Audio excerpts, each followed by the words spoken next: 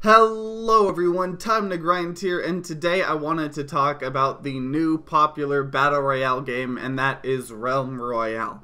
And Realm Royale is a game made by Hi-Rez, the people that made Smite and Paladins, and also way back then the Tribes game. Uh, and overall, it was originally going to be a game mode in Paladins, like a Battle Royale game mode with the different, you know, kind of champions and Paladins playing the Realm Royale, or, you know, the Battle Royale game. Uh, and I guess somewhere along the lines they decided they want it to be its own separate thing and have like five different, you know, kind of unique classes rather than the different people from Paladins. I'm not sure why.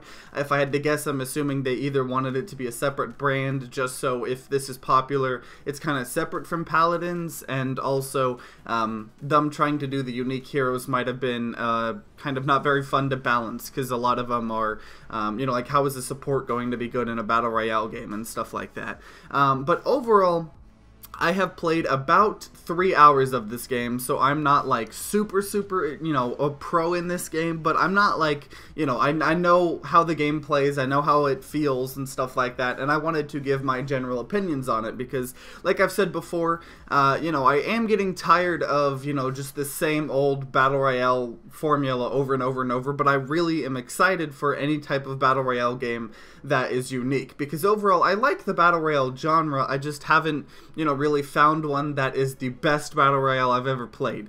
Um, you know, I really like the culling, but that game kind of killed itself off. um, and uh, you know, I have a lot of problems with a lot of battle royale games. Um, that have come out. So I'm always interested in trying out new battle royale games, especially um, like Realm Royale when it has apparently just blown up. As of recording this video, there's hundred thousand concurrent players.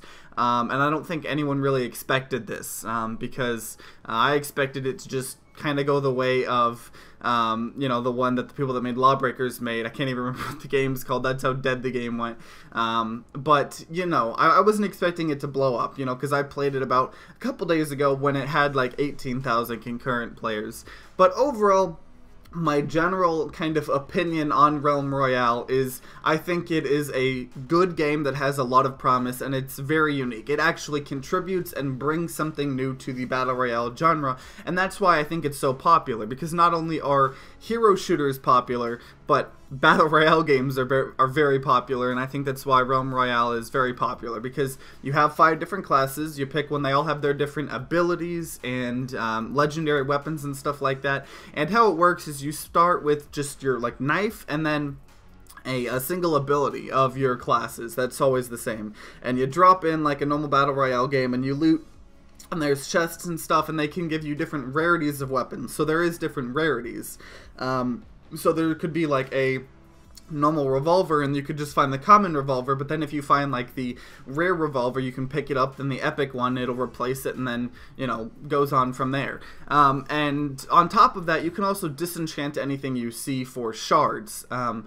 and so say the armor you pick up isn't uh, is better than what you already had and it drops the old armor you might as well disenchant it. You're not going to use it because you have four different armor slots so if you had uh, you know just common boots and you find rare boots or whatever there's not really a reason to keep your old boots. So you just disenchant it, it gives you shards, and there's these forges all around the map that you can go to, and you can, um, there's like five different options you can do, and you can, each forge only do once per um, game of that forge. So one of them gives you health potions, one of them gives you armor potions, but then one of them gives you a random legendary equipment, one of them gives you a random legendary spell from your um, kind of class, because obviously you can't, you know, equip you know abilities from other classes, and then one will give you your legendary weapon. And every single class has only one specific legendary weapon, um, and there it's a pretty unique concept. So you know the hunt, the sniper kind of person has a sniper rifle. Um, the warrior has like throwing axes.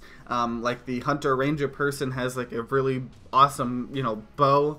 Um, you know, and the mage is like a staff, and then I can't really remember what the engineer has at the time making this video, but uh, it's it's really unique, um, and it's really fun, and it plays well, and in terms of optimization, it actually runs very well. I think it defaulted ultra everything, and I just kept it there while recording, um, because honestly, Hi-Rez games don't look the best. Um, it definitely has that Hi-Rez kind of art style graphics where you know they're not the best graphics. I mean they're not terrible but they're definitely they're nothing to brag about. They get the job done is all i'm trying to say.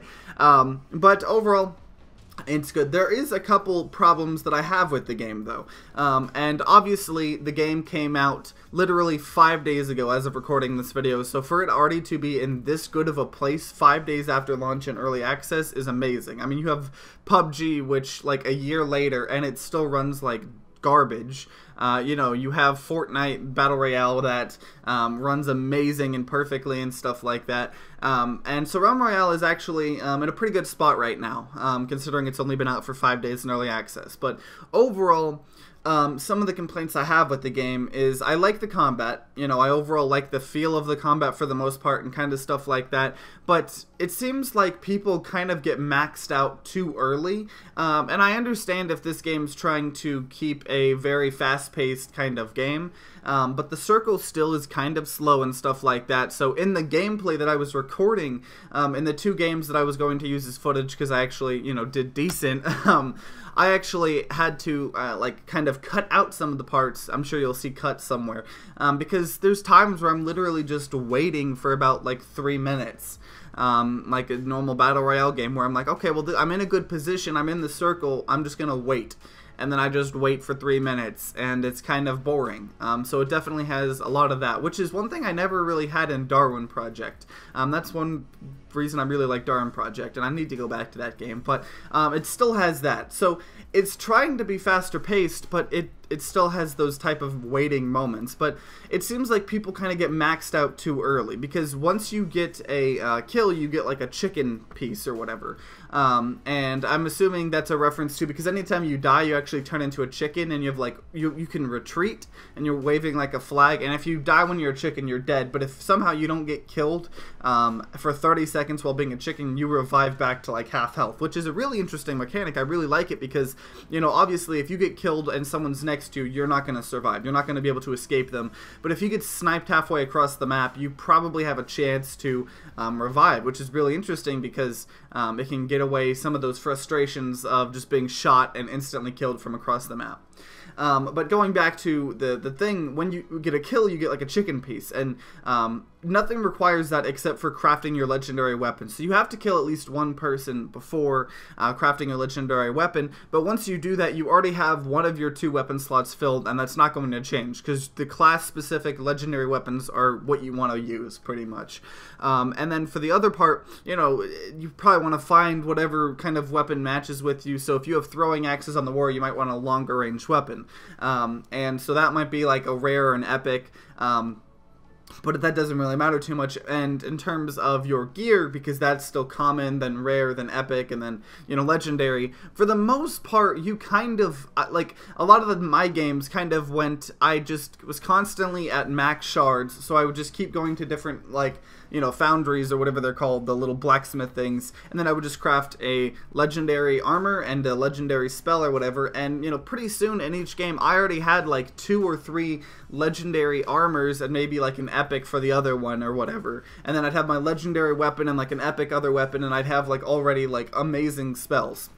And like, so it seemed in each game there reached a point very early in the game that I was already maxed out, and there wasn't really much for me to improve, so it kind of is like, okay, well, there's not really a point to looting this town that I'm going to go through. I'm just going to go straight from point A to point B, and then, you know, try to just wait and camp there. And it adds a lot more to that, because if you max out early, uh, you don't keep looting, and that's something to do instead of just waiting. So, that's that. Um, another thing is I think every single weapon in the game, for the most part, does too much damage. Um, and this, it's kind of going into time to kill, um, because the time to kill is pretty low, but it, it's not really, because all of the weapons aren't really hit scan. They're not really you know, a lot of the stuff is projectiles. So when you like fire your weapons or whatever like that, especially like the sniper rifle, like the legendary sniper rifle, it's a projectile that kind of takes a long time. It's a little hard to use because you have to lead the shots to a pretty drastic amount, but you're gonna everyone's kind of missing their shots a lot. There's a lot of missing shots. There's a lot of like dodging behind cover and stuff like that because it's a third person game and stuff like that. So you're not hitting your shots always, but when you do, it just deals like 75% of their health. Or the sniper rifle has enough to just kill someone if they don't have any armor. Most of the time they'll have armor, um, but it does an insane amount of damage. So everything does so much damage. It's just at the level I was playing, and obviously, you know, I'm sure pro players, once this game has a scene, will be hitting a lot of their shots, and in that case, I think the time to kill is going to be even even too faster. that's a that's a word because overall I think the guns eh, do too much damage uh, and the weapons and the abilities and stuff like that. Um, but overall, right now, people are missing their shots a lot and stuff like that because of not a lot of the stuff is hit scan. Um, so you're having to lead your shots and stuff like that. But I feel like when people start hitting their shots, you die like instantly. Like it's crazy. And I don't know if that's just me, you know, kind of not wanting the time to kill to be that high. Um, especially because in this game, when you have abilities and you have skills and you have these quirky guns, I think having the time to kill low could be better because it gives more opportunity for both players to use their abilities and you know kind of fully utilize what they have. And um, when you have a low time to kill a lot of that stuff doesn't matter. Like you might not even use a single ability because you just instantly got killed um, by a sniper shot and then a revolver shot or something like that. Um, so overall I think everything really needs to be toned down a little bit. And then I think I they need to kind of lower the drop rate a little bit because every single house has like four chests in it that all drop like three different things um, and I think that's one of the reasons, you know, obviously it makes it satisfying, but you're going to get maxed out too soon. Um, but overall, those are my only really big complaints. Um, you know, I kind of talked about them a lot, so it makes it seem like I hate this game. But overall, I really like this game. I just think that would improve it immensely. You know, there's a lot of things this game does. I really like the hero shooter class kind of mechanics in it. Um, I really like the chicken, you know, the kind of like chance to get your life back mechanic. I really like that. Overall, the world and the map that it is is really unique. You have like a frozen place, you have like a high noon western place.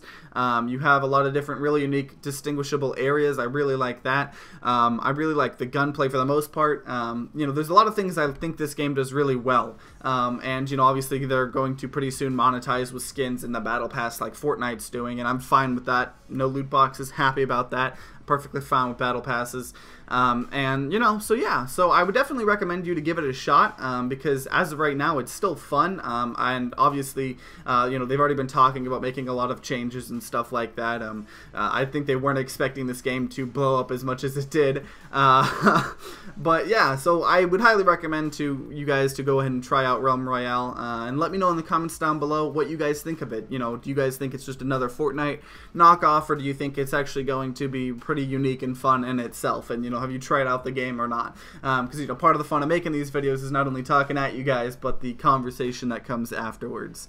Um, but if you enjoyed this video, then consider leaving a like down below and subscribing to see more videos. New videos come out every Wednesday and Sunday. And I hope you guys have a great rest of the day, and see you guys next time.